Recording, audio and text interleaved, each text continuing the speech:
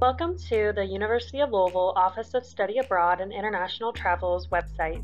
Today we're going to be going over where to find the COVID-19 information. From the home page, you simply click the COVID-19 information drop-down option and you can see the different resources we have. Let's start with the COVID-19 FAQs.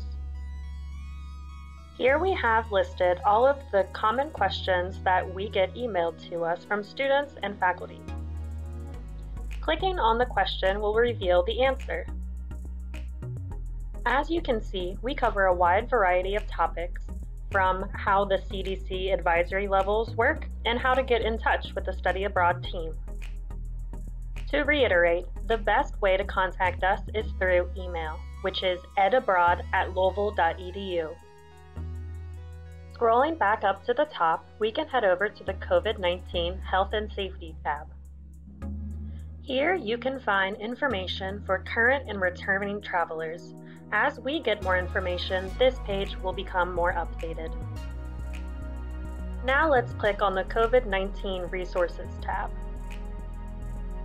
Here you can find the university's resources page, the COVID-19 General Health Information, and other governmental resources.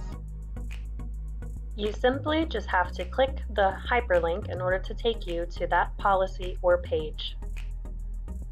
Any of these resources could be valuable to you. The last part of our resources are the Update for Study Abroad Students tabs. Clicking on this will take you to the communications that we've sent out to students. I hope this video helps and go cards!